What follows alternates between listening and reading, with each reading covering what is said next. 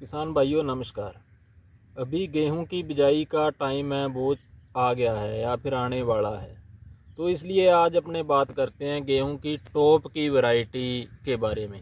कि टॉप की दो तीन वैरायटी आपको बताऊँगा, जो पिछले साल या दो तीन साल से चलन में हैं और इस बार उनका बीज मिल जाएगा। वैसे तो बहुत सारी वैरायटी हैं, हर साल नई वैरायटी आती है।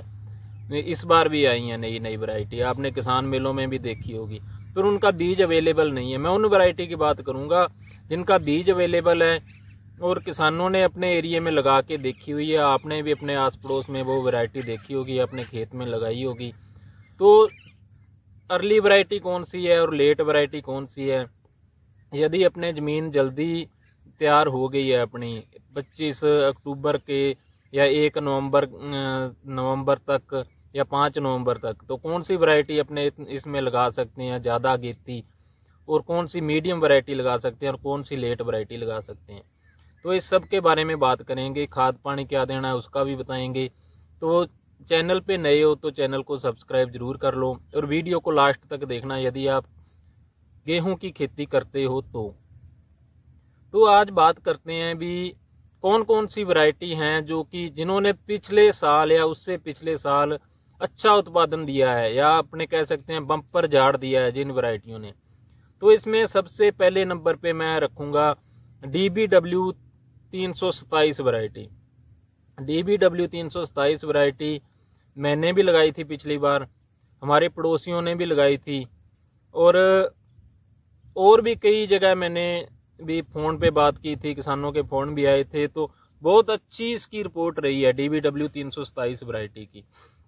तो इस वैरायटी की खास बात यह है भी इसको अपने फुल अगेता लगा सकते हैं। भी 25 अक्टूबर से लेके 5 नवंबर तक यदि इसकी बुआई करते हैं तो इसका बहुत अच्छा झाड़ आता है या उत्पादन आता है ले सकते हैं अपने। उसमें क्या करना होता है, ज़्यादा अगेती जो बिजाई होती है अपनी तो उसमें जैसे यूनिवर्सिटी ने भी बताया है भी जैसे डेढ़ गुना कर देनी है खाद अपने को। जहाँ पे आप एक गट्टा डाल रहे हो डीएपी का, वो डेढ़ गट्टा हो जाएगा, या दो गट्टे आप डाल रहे हो यूरिया के तो उसको जस्ट तीन गट्टे हो जाएँगे वो। भी कोई भी एनपी के देना आपको वो डेढ़ गुना हो जाएगा। यदि आप पाँच नवंबर तक बिजाई कर देते हो तो। उसके बाद में यदि बिजाई करते हो, पंद्रह नवंबर तक करते हो तो वो नॉर्मल डोज जो आप डालते हो, आपकी ज़मीन के, आपके एरिया के हिसाब से, वो सफिशियंट है, उसी से अच्छा उत्पादन आएगा। लेकिन ज़्यादा उत्पादन यदि लेना है या पोटेंशियल ईल्ड की जो बात करती है यूनिवर्सिटी जो जिन्होंने यह बीज बनाया है। तो इसका पोटेंशियल ईड पाँच कनाल में बाईस, साढ़े बाईस क्विंटल तक आ सकता है। हमारे एरिए में भी अठारह क्विंटल, उन्नीस क्विंटल तक पिछली बार इसका ईल्ड आया था। या मैक्सिमम जो उत्पादन है वो इतना आया था। मेरे खेत में भी नरमे की जगह लगाई थी।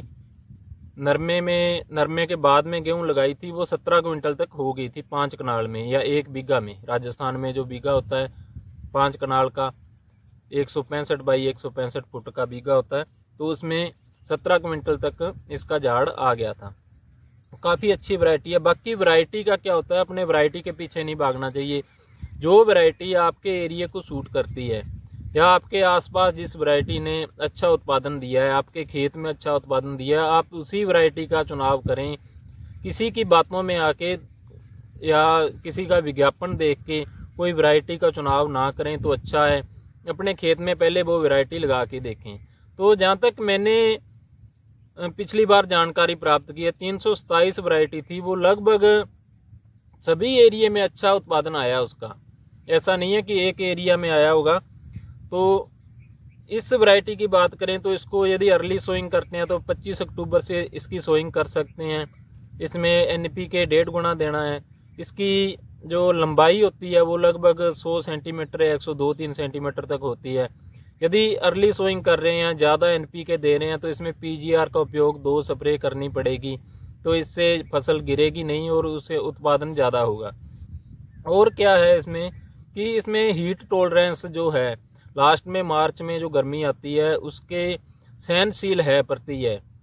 भी उस हीट टॉलरेंस के प्रति सहनशील है ये वैरायटी जो लास्ट मार्च वाली गर्मी है, वो आ भी जाए तो इस वैरायटी पे उस गर्मी का कम असर होगा तो उत्पादन अच्छा होता है। तो ये लगभग 150 बावन दिन की वैरायटी है। तो यदि आप इस वैरायटी को लगाओगे, पिछली बार लगाया था तो आप अपने हिसाब से उस रकबा बता सकते हो। यदि आपने पिछली बार नहीं लगाया अपने पड़ोसी ने लगाया तो भी आप इसकी आराम से इसकी खेती कर सकते हो या इस बीज का चुनाव कर सकते हो। यदि आप पहली बार देखी नहीं है, पिछली बार ये फ़सल आपने इस वैरायटी की, गेहूँ की तो तीन सौ सताईस अपने वैरायटी ट्रायल के तौर पे थोड़ी जगह में लगा के देख लेना तो अच्छे, अगली बार के लिए बीज भी आपके पास आ जाएगा और आपको पता भी चल जाएगा अभी इसका, आपके खेत के हिसाब से इसका क्या उत्पादन आता है। दूसरे नंबर पे बात करते हैं अपने डी बी डब्ल्यू तीन सौ तीन वरायटी है। इसकी बहुत चर्चा सुनी है अपनी। लेकिन इसका उत्पादन मैंने देखा नहीं। मेरे आस पड़ोस में ज़्यादा उत्पादन किसी ने इसका लिया नहीं। मैंने अपने खेत में लगा के नहीं देखी। पर यदि इस वैरायटी को 303 वैरायटी जो है, इसका यदि अपने अर्ली सोइंग करते हैं पाँच, पच्चीस अक्टूबर से लेके पाँच नवंबर तक इसकी बिजाई करते हैं, डेढ़ गुना एनपीके देते हैं तो इस वैरायटी का भी बहुत अच्छा जो है उत्पादन लिया है किसानों ने। तो इस वैरायटी ये भी लगभग 150 दिन की वैरायटी है। वही 100 सेंटीमीटर के लगभग इसकी हाइट है। तो दो पीजीआर का स्प्रे इस पर भी करना पड़ेगा। तो इसके लिए भी वही सेम ही है। यदि अपने पाँच नवंबर तक बिजाई करते हैं तो डेढ़ गुना एनपीके डालना है। उसके बाद में करते हैं तो नॉर्मल तो ये भी बहुत तगड़ी वैरायटी है। इसका भी आप यदि ट्रायल के तौर पे कर सकते हो, यदि पिछली बार आपने इसका अच्छा उत्पादन लिया है तो इसका रकबा बढ़ा सकते हो। और बात आ गई, एक और वैरायटी थी, पंजाब की, लुधियाना यूनिवर्सिटी की 826 वैरायटी है। उसकी भी बहुत चर्चा सुनी होगी आपने पी बी डब्ल्यू आठ सौ छब्बीस। तो यह वैरायटी है, ये भी लगभग 148 दिन की वैरायटी है। इसको भी अर्ली सोइंग कर सकते हैं, इसका भी पोटेंशियल ईल्ड लगभग तीन सौ सताईस वरायटी के लग, लगभग समान होता है सब कुछ इसका। जो पोटेंशियल ईल्ड है, वो भी इतना ही आता है। बाईस तेईस क्विंटल तक हो जाती है ये एक बीघा में। पर हमारे एरिए को इसने सूट नहीं किया। हमारे आस पड़ोस में जिसने भी लगाई थी, कोई ज़्यादा झाड़ इसका नहीं आया। तीन सौ सताईस का अच्छा झाड़ आया था। यदि आपके एरिया में इसका उत्पादन अच्छा है तो आप इसका चुनाव कर सकते हो। यदि आप अगेती बुआई करते हो तो वही डेढ़ गुना एन डालना है। और यदि मीडियम करते हो तो वो नॉर्मल डोज डालनी है। एक और बात बता दूँ, यदि आप कोई भी वैरायटी का चुनाव करते हो, कोई भी गेहूँ की बिजाई कर रहे हो तो बायो निम्माटोन के नाम से एक प्रोडक्ट आता है। पसीलोमाइसिस फंगस होती है एक। उससे सीड ट्रीटमेंट यदि आपने कर लिया, लगभग एक क्विंटल बीज को एक लीटर वो दवाई लगा दी बायो निमाटोन के नाम से आती है जो, या निमाटो फ्री के नाम से आती है। तो उसका रिज़ल्ट ये रहेगा कि आपका जमाव अच्छा होगा स्टार्टिंग में, जो इसका जर्मिनेशन अच्छा होगा गेहूँ का, उसके जड़ में जो निमाटोड की दिक्कत आ जाती है। निमाटोड की दिक्कत नहीं आएगी, आपको कार्बोफ्रेन वगैरह जो गंदे जहर हैं, ये डालने की ज़रूरत नहीं पड़ेगी, आगे आपकी फ़सल पीली नहीं होगी। जो दोगियों में पीली हो जाती है आपकी फ़सल, वो नहीं होगी।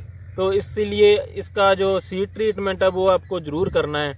तसीलोमाइसिस से या निमाटो फ्री या निमा बायो निमाटोन कुछ भी आप जो जिस चीज़ पे आपको विश्वास हो, उस कंपनी का आप प्रोडक्ट यूज़ कर सकते हो, पर इसका यूज़ ज़रूर करना सीड ट्रीटमेंट में। और बात करें, यदि अपने मीडियम, अपनी ज़मीन है और मीडियम टाइम है, जैसे लगा लो ग्यारहवें महीने की दस तारीख से लेकर ग्यारहवें महीने की बीस तारीख तक आपको बिजाई करनी है गेहूँ की तो इसके लिए सबसे बेस्ट है हमारे एरिया के हिसाब से बताता हूँ आपको डी बी डब्ल्यू दो सौ बाईस वरायटी जो लगभग तीन चार साल पहले वरायटी आई थी ये। तो उस वरायटी ने बहुत अच्छा उत्पादन दिया है। पिछली बार भी हमारे भी थी, हमारे पड़ोस में भी थी, अच्छी वरायटी है ये। भी लगभग 150 दिन की वैरायटी है, उत्पादन अच्छा दे देती है। इसकी तूड़ी वगैरह भी बहुत अच्छी बनती है। और एक और वैरायटी आई थी डी बी डब्ल्यू एक सौ सतासी। कुछ एरिया में वो भी बहुत अच्छा रिज़ल्ट दे रही है एक सौ भी। ये भी लगभग 150 पचपन दिन की वैरायटी है। इसकी दिक्कत यह है कि इसकी हाइट ज़्यादा हो जाती है। हाइट ज़्यादा उसको रोकने के लिए अपने दो पीजीआर की स्प्रे इस पर रिकमेंड हैं तो वो आपको करनी पड़ेगी। अर्ली सोइंग इसकी भी कर सकते हो। यह एक वैरायटी है, दिल्ली यूनिवर्सिटी की डब्ल्यू एच बारह सत्तर 1270 अर्ली सोइंग के लिए ये भी वैरायटी बहुत अच्छी है। यदि आपके एरिया में पिछली बार इसकी बिजाई हुई है या आपने देखी है या सुनी है तो इसका भी ट्रायल आप ज़रूर लगा के देखना। और यदि आपके खेत में थी तो आप इसका रकबा बढ़ा सकते हो। इसका भी बहुत अच्छा जो उत्पादन आता है, और आप इसका उत्पादन ले भी सकते हो। तो ठीक है, किसान भाइयों, आपको लगभग वैरायटी बता दी। वैसे तो वैरायटी हर बार बहुत वैरायटियाँ आती हैं, बहुत वैरायटियाँ ऐसी होती हैं जिनका बीज नहीं मिलता ब्लैक में बीज मिलता है, आपको नकली बीज मिल जाता है। ये जो वैरायटी तीन चार वैरायटी आपको बताई है, इनका बीज बाज़ार में उपलब्ध है। अच्छा बीज अच्छी कंपनी से ले लेना, अच्छे आदमी से ले लेना तो उसका आपको रिज़ल्ट मिलेगा, आपको उत्पादन में उस चीज़ का फ़र्क दिखेगा।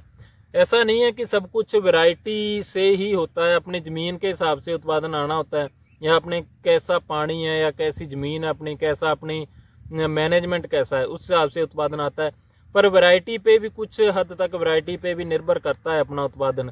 तो यही वैरायटी आपको जो बताई है डी बी डब्ल्यू तीन सौ सताईस, तीन सौ तीन, या फिर एक सौ सतासी, या 222 या ये 826 वैरायटी जो बताई है बारह सत्तर वैरायटी ये टॉप की पाँच वैरायटी हैं। जिनका आप कितना भी उत्पादन ले सकते हो, वो अपने खेत के हिसाब से है। बीज ट्रीटमेंट ज़रूर करना उसका। बीज उपचार बोल सकते हो आप या सी ट्रीटमेंट कह सकते हो बायोनिमाटोन से। तो ये मेरी सलाह आपको। तो वीडियो अच्छी लगे तो उसको शेयर ज़रूर कर देना, ताकि दूसरे किसान भाइयों तक ये वीडियो पहुँच सके। वीडियो पूरी देखने के लिए धन्यवाद, मेहरबानी।